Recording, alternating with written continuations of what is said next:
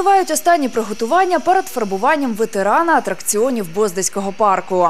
Дві кабінки забрали на ремонт, інше випробовують на справність і безпечність. Підприємці вже готуються до перевірки Закарпатського експертно-технічного центру для отримання дозволу на роботу у новому сезоні. Готуємо цю веселу горку, реставруємо її. Там ще хлопці будуть ремонтувати електродвижки, мотори. Дві кабінки зняли, ремонтують їх, реставрують. Воно вже в кінці тижня буде зроблено. Оренда для підприємців, які традиційно у цій частині парку встановлюють розважальні атракціони, залежить від квадратури і складає від 8 сотень до 2 тисяч гривень на місяць. З 12 підприємців парк має щомісяця 40-50 тисяч гривень.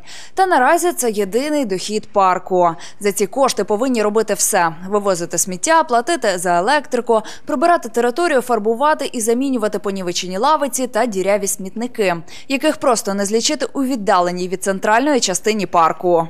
Ця відпочинкова зона закидана відходами і пластиком. Підприємець ще не підтвердив свою роботу на цей сезон.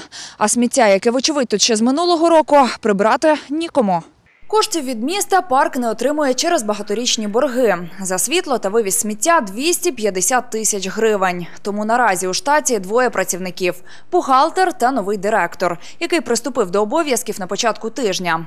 Розповідає, підприємство може бути прибутковим та потрібні чималі вкладення. На розширення штату близько 40 тисяч гривень, на охоронну службу – 30, на вивіз сміття, світло, поступове погашення боргу та мінімальні поточні ремонти – ще 80.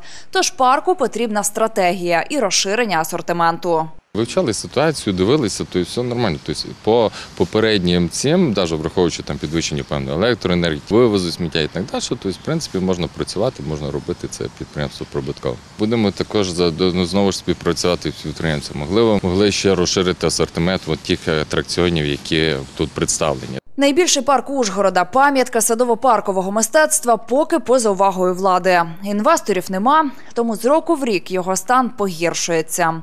До початку сезону його обіцяють причепурити, але цього буде явно замало. Без цілісної концепції розвитку та бюджетних грошей ситуація не зміниться.